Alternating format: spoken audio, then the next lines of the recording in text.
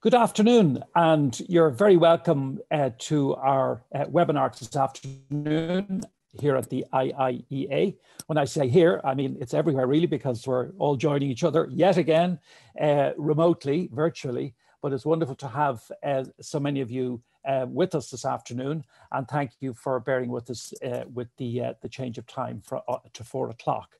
Um, so we're delighted this afternoon, really delighted to be joined by Elisa Ferreira, who's the European Commissioner for Cohesion and Reforms. And the Commissioner has been uh, generous enough to take time from what is clearly an extremely busy schedule at the moment uh, in terms of the agenda of work uh, that she has. The Commissioner will speak to us for a, about 20 minutes or so, and then we'll go to the Q&A uh, with our audience.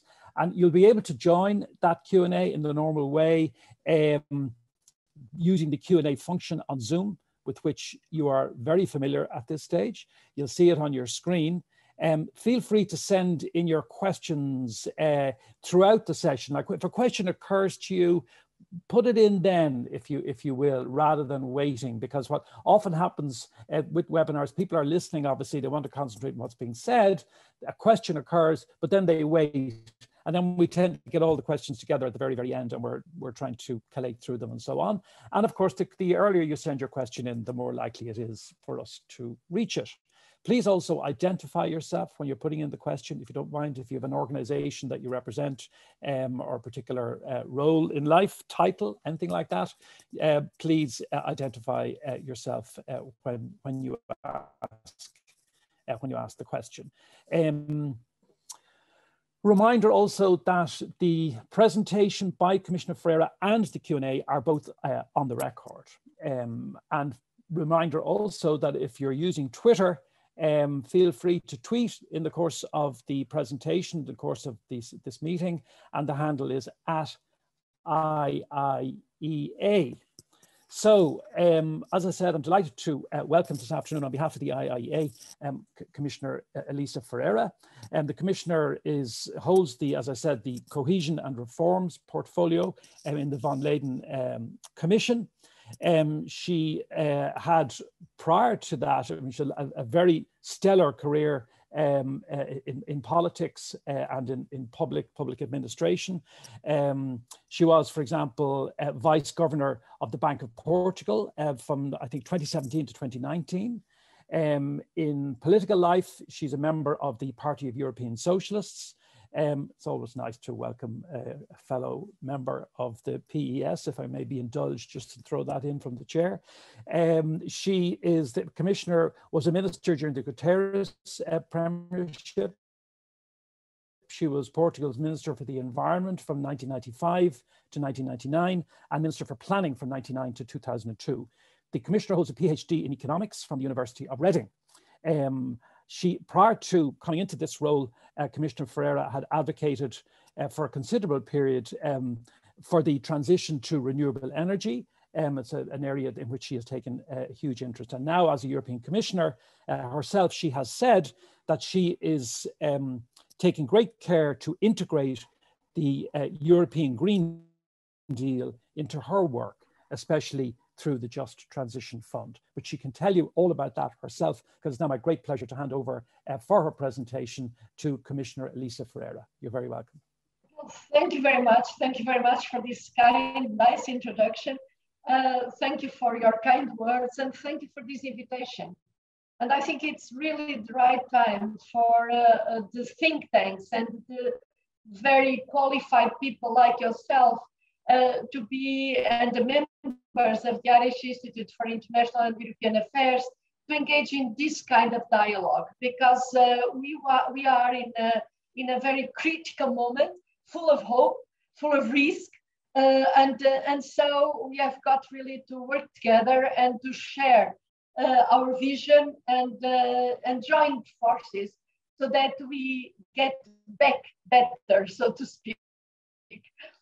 So, ladies and gentlemen, I am in fact very happy to have the opportunity uh, today to discuss with you about the future I mean, of Europe and the future of Ireland in Europe.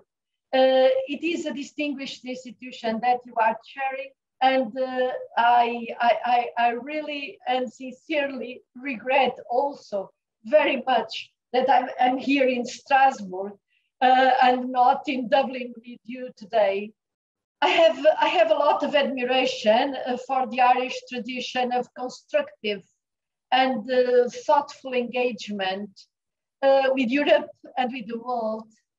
And today, more than ever, all of us in Europe need this uh, tradition in order to be able to work for our common future and our common good. Working together as Europeans is what procured the corona vaccines.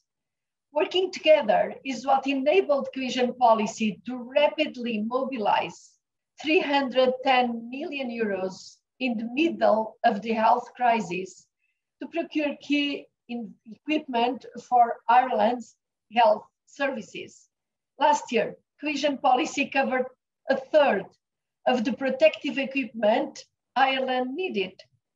And working together, it was with, uh, it was, uh, and, and working together is what will get us further out of this crisis. As you know, Europe has taken, taken the unprecedented step of borrowing using Europe's AAA credit rating. We are creating and boosting investment funds which will drive the recovery. First of all, we have the new REACT EU initiative. This initiative will invest or will support uh, Ireland in 88 million euros to support, in fact, em employment and growth. Second, we are currently discussing Ireland's future recovery and resilience plan that will provide close to 1 billion euros of European investments in Ireland's recovery from this crisis, as well as in moving in the green and digital transition.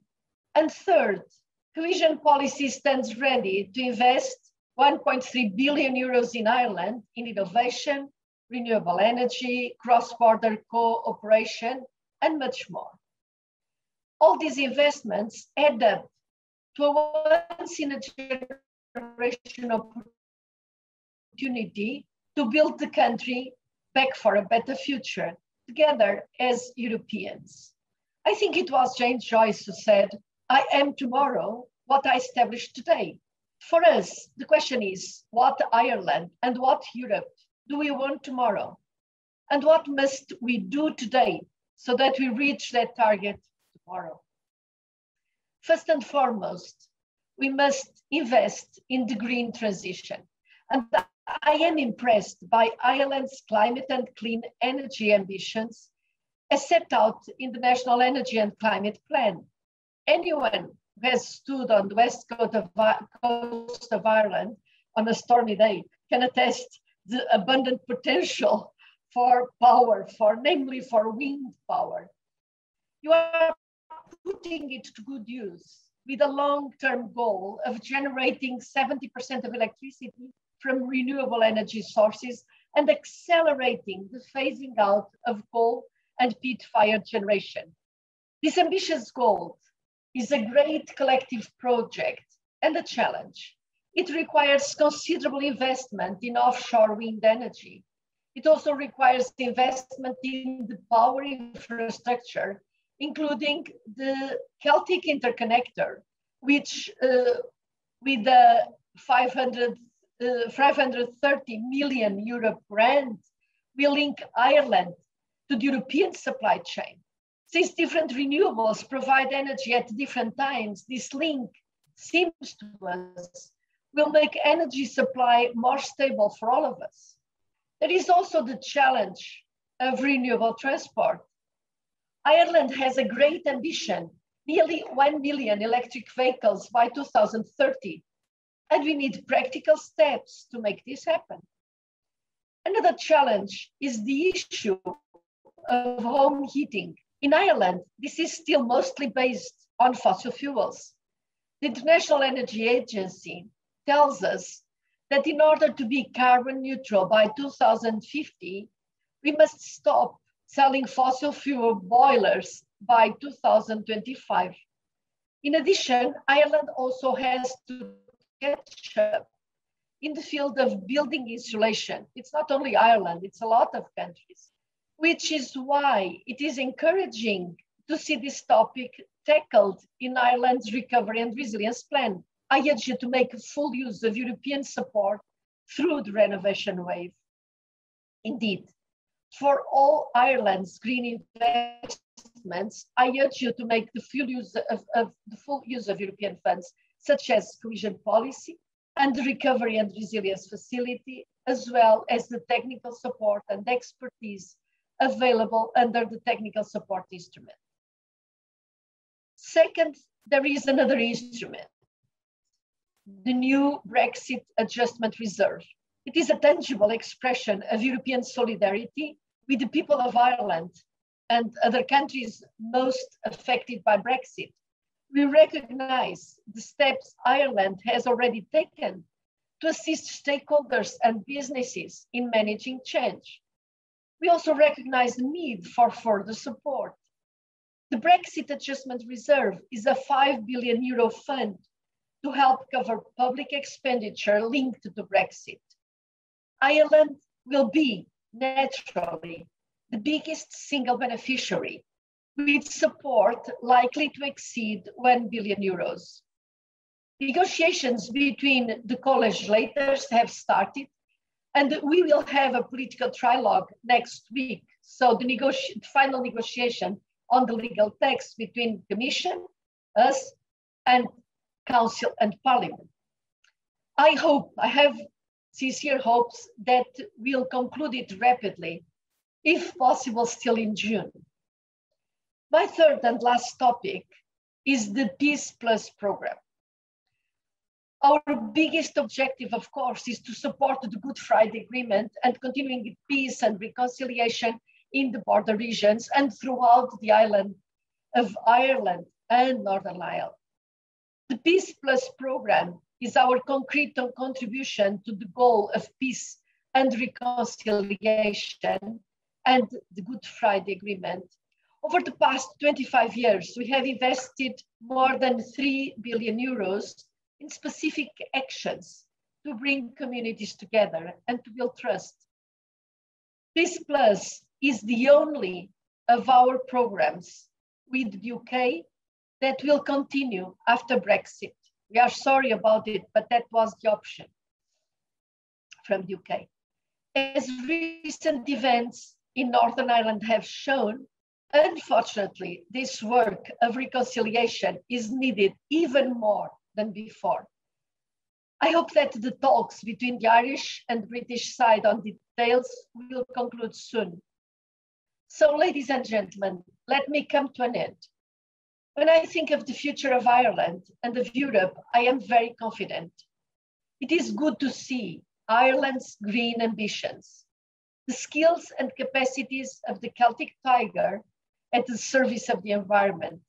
We'll strongly support it through the Recovery and Resilience Programme and through cohesion. As for the impact of the UK leaving the European Union Europe will mobilize its funds for Ireland. Ireland will be the major beneficiary, as I just mentioned, of the Brexit Adjustment Reserve. And we will continue with the important Peace Plus program to support peace and stability on the island. Ireland will remain very, very close to our hearts. So thank you for your attention and I look forward to our discussion. Thank you.